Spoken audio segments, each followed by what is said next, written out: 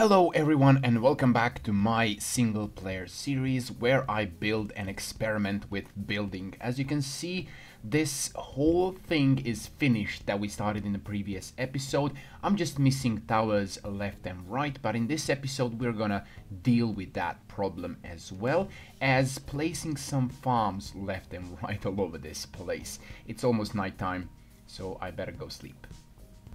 Here we have the first layout of the tower. Um, I'm not sure it's gonna stay like that, but we need to connect this platform to that platform over there through this middle part. And I'm probably gonna just copy the design and on the floor right there I'm gonna be placing some kind of planks, maybe spruce planks. Also I need doors right here so I can get inside and climb upstairs. So maybe a door here also, this needs to go up a bit just to match the whole design. It looks good. I like the color palette and everything. So yeah, let's get started on with this. The first platform is finished. As you can see, it's very, very flat. So we are going to keep on extending these guys right over here. Then we have this platform, probably gonna place some kind of oak fence here just to uh, oops. Maybe another row of slabs across across here. Yep let's raise these so we can see that difference. Very nice. Okay now we can go here and here directly or down here. And as you can see it's a nice room that we can exit the courtyard or go downstairs into the basement area. I'm probably gonna decorate this place a little bit more with a... Uh, can I select these fences? Thank you. Uh, something like this probably will go here. What's what's the level of that? Right here, corresponding. Nicely done. Okay, let's double that. And if I do it on this side, can I? Yes, I can. I can do it on this side. All right, all right. It's not gonna block the entrance down there. Okay, um, now I'm gonna go plan what I'm going to do with the top area. But probably gonna make it open. Mm, or maybe not. Maybe some kind of windows that can look on the outside, but make them a block wide. Probably like, if this is going to be a wall, then we're gonna have a wall here and a wall here. I think that's tall enough. So if we stand here, we can take a look outside. Nicely done, nicely done, okay?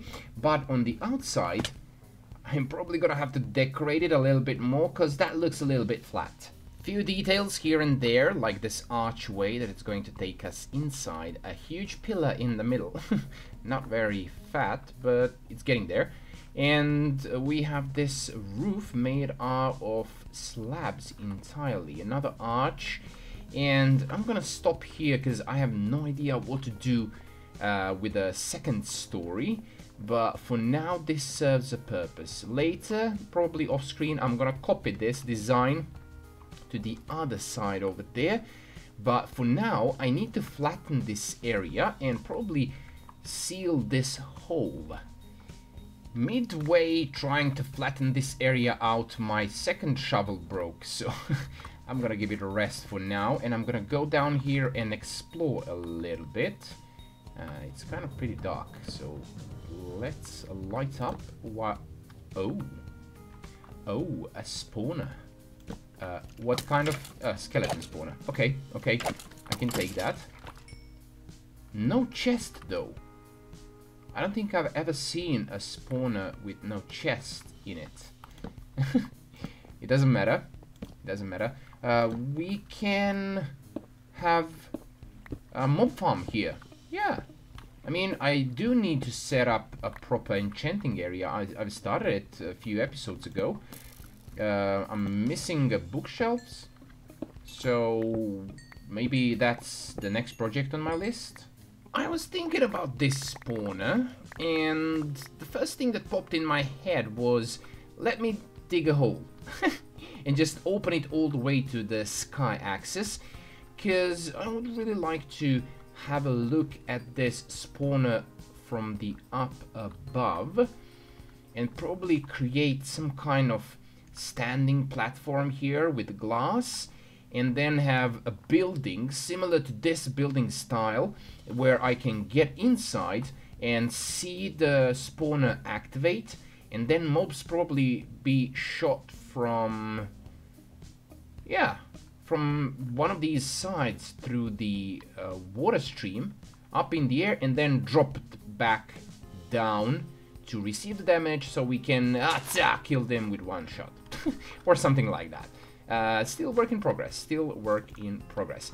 Now, um, while I'm thinking about how exactly I'm gonna do that, I'm probably probably gonna leave this hole open and start working on some kind of a design here for the farms. Since this is a flat area, I was thinking of maybe placing um, some kind of platform. You know that classic vanilla style that, had, that they had with the with wooden logs, something like something like this, and then dirt here and here, and then water in the middle, something like that. Something classical, something simple that can serve my purpose of feeding me so I don't starve while I'm running around and building here.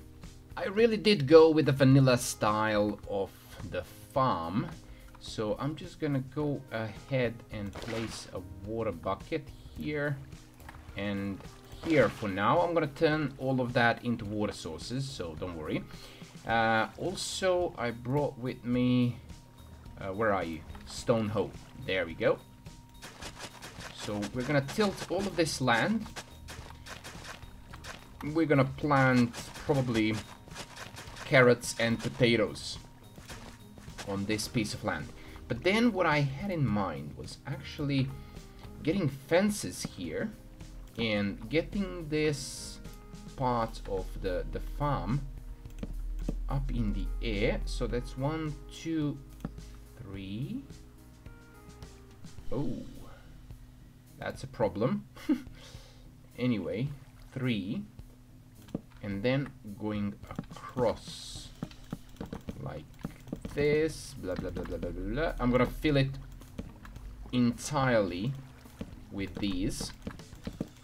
Now, what I would like to know is, I have a plan with these fences, don't you worry. Um, they're a bit low, aren't they? I'm gonna have to extend at least these middle uh, middle ones up a block in the air so I can walk normally because I was planning on placing a lantern to hang from uh, every third I guess so what I'm gonna have here is randomly placed bushes and I'm gonna combine oak leaves with spruce leaves to get a little bit of variation in, in the block color. So something like this. Occasional hole, because why not? There we go. Of course, these are going to extend to this side as well and connect with these. Not all the way, because I'm gonna have them like this and like this okay and then here as well and maybe skip one block instead of two where's my stone axe?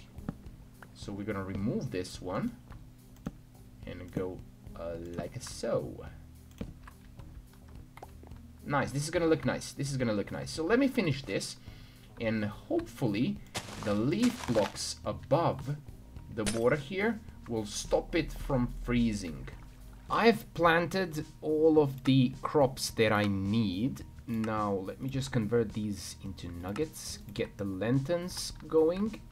Ah, they're so expensive. Anyways, here, I guess, one and one over here. Then we can get maybe like one, two, three, four, five, right?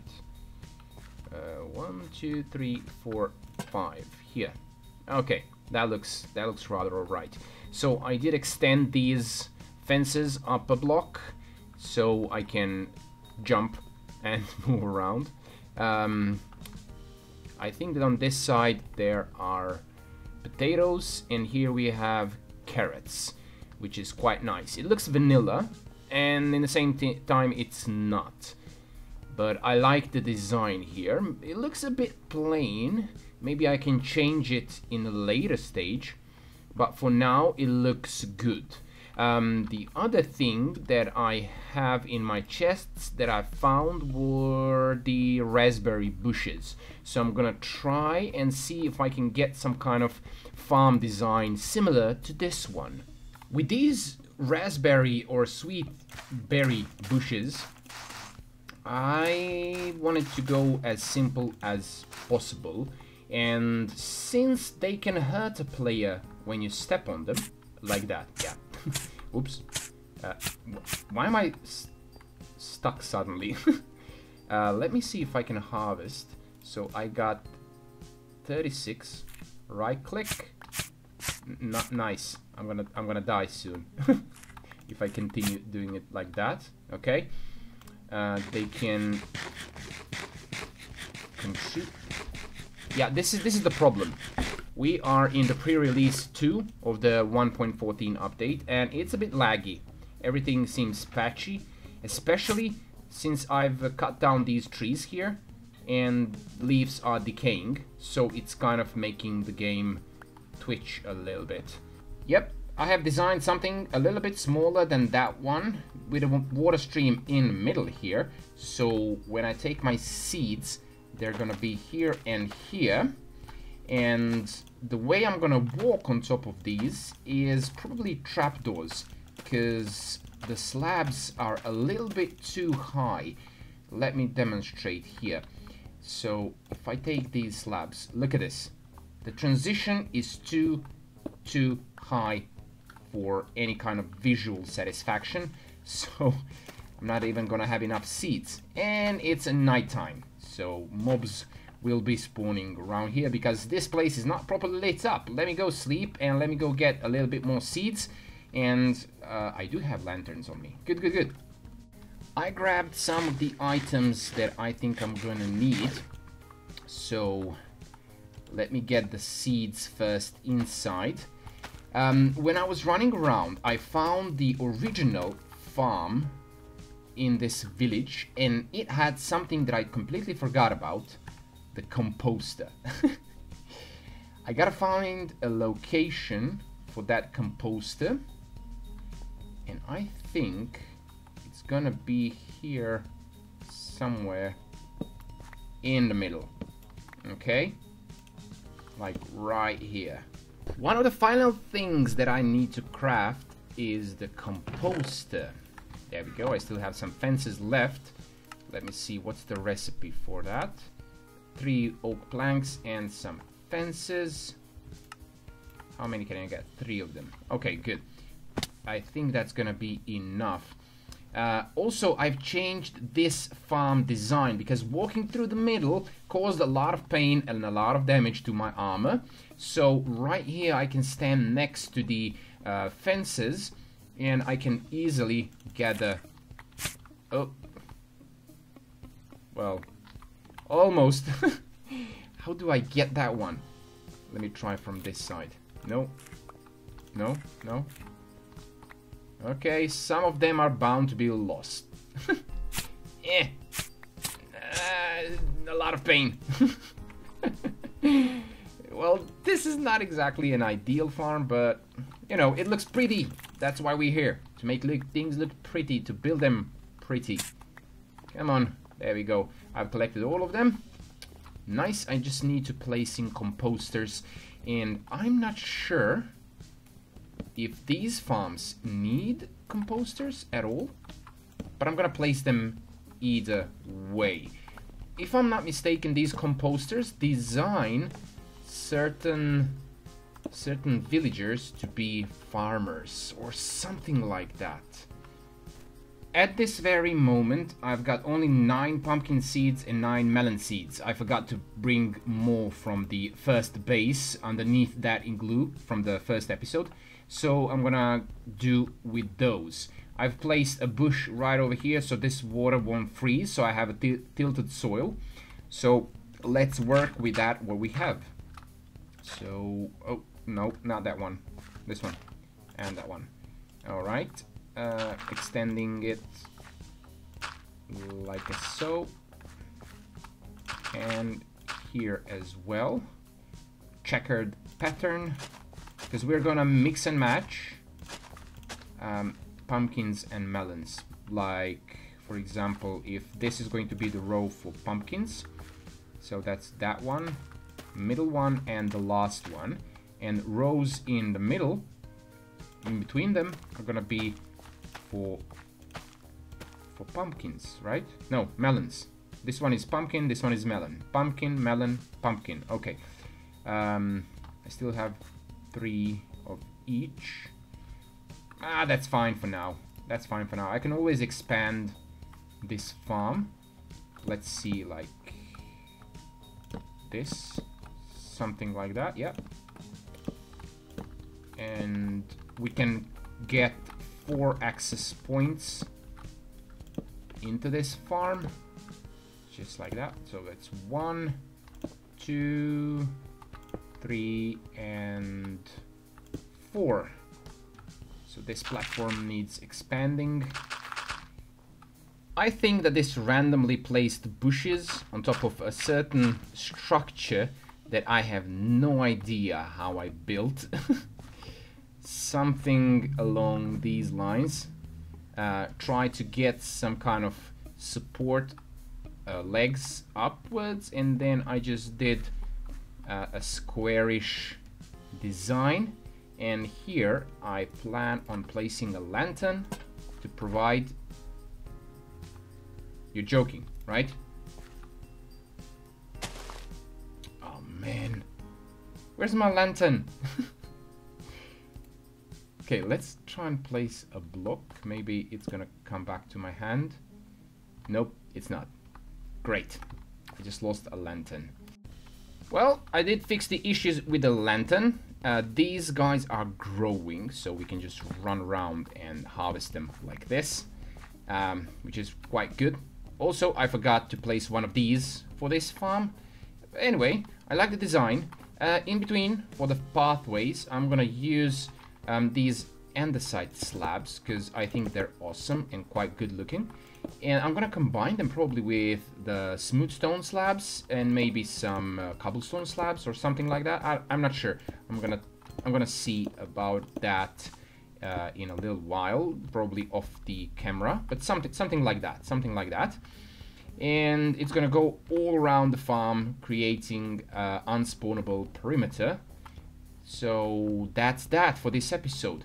Uh, still gotta copy this over there in the corner and do a little bit of planning for the said citadel that is probably gonna go right there. It's not gonna be like a full size citadel, more like a main building for this village. Also, I need to go and study the behavior of the new village villages because I have no idea how they work. Also, these guys stumbled in here, so I just captured them. It's gonna be a nice wool farm in the future.